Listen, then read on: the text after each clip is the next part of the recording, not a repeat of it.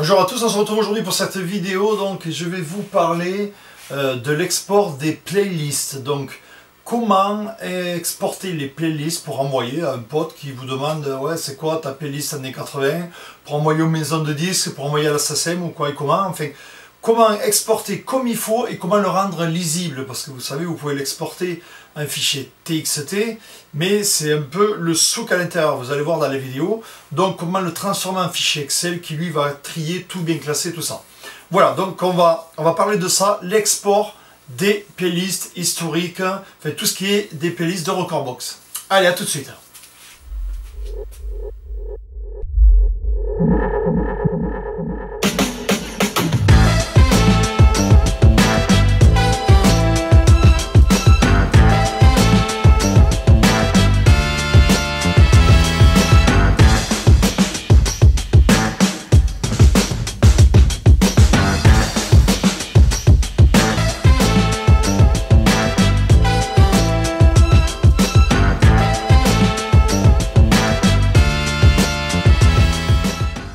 Voilà, donc je me retrouve sur mon Recordbox, donc comme vous pouvez le voir, la dernière version qui est sortie hier, la version 5.2.2, donc très récente, qui va, ma foi, très bien.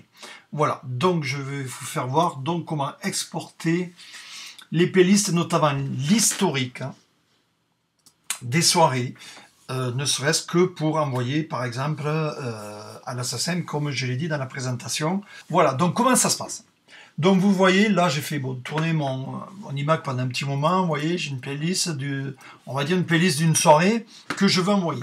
Donc il me faut extraire cette playlist. On a deux solutions. Soit on la sauvegarde à un M3 8. Donc c'est des playlists compatibles euh, VLC compatible euh, Winamp, de là pour le coup ça ne nous intéresse pas.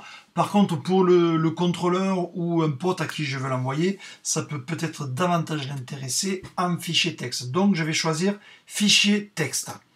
Je choisis fichier texte, il me met l'historique de, de tel jour, mais je la mets sur mon bureau. Je sauvegarde.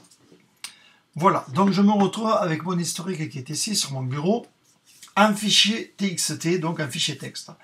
J'ouvre ma playlist et comme vous pouvez le voir, c'est vraiment, pas pratique à lire. Vous pouvez le voir, c'est on va dire c'est lisible, c'est vraiment pas cool. Donc la solution c'est de l'ouvrir avec Excel et vous allez voir, regardez, je fais glisser, je l'ouvre avec Excel et magie, tout est trié nickel. Donc je vais faire un tri encore mieux, mettre les colonnes à la taille. Donc je sélectionne ici, je prends une séparation, je clique deux fois, voilà, j'ai tout à ma taille. Qu'est-ce qu'on voit aussi? On voit des trucs qui ne nous intéressent pas. Par exemple ici, il y a illustration, vous voyez? Là, il n'y a rien d'affiché, effectivement. Excel n'affiche pas les images, donc je supprime. On voit le genre, on s'en fout aussi. L'album, on s'en fout. Vous voyez, on fait des tris très très rapidement. Le classement, il n'y a rien du tout.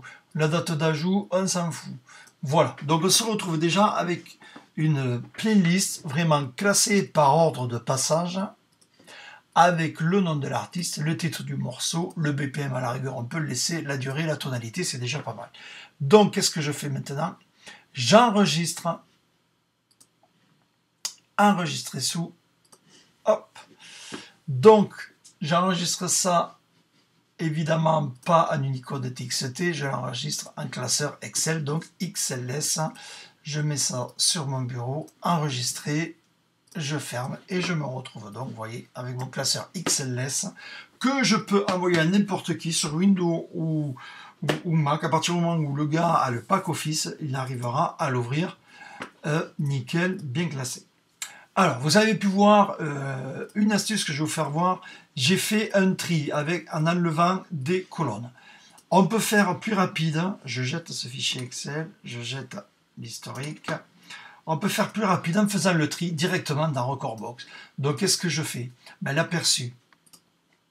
Donc, par exemple, je clique droit ici, l'aperçu, il me sert rien. L'illustration, elle me sert à rien. Le genre, il me sert pas non plus. Qu'est-ce que c'est que j'ai supprimé? La date d'ajout. Donc, la date d'ajout, hop, je la supprime aussi. Tonalité, durée, la classe, on s'en fout aussi. Le classement, il s'en fout. Voilà, donc j'ai mes titres, les albums, j'avais dit aussi les albums qui ne m'intéressaient pas. Donc déjà, vous voyez, deux par que je fais mon pré-tri. Donc, hop, j'extrais un TXT, je le remets sur mon bureau, je sauvegarde. Donc à partir de là, le voici. Donc toujours pareil, je l'ouvre, il y moins de, il y a moins de texte, mais c'est toujours aussi le bazar. Je l'ouvre avec Excel. Voilà. Je fais je mets tout à ma taille, hop, voilà, et vous voyez, j'ai déjà tout de près.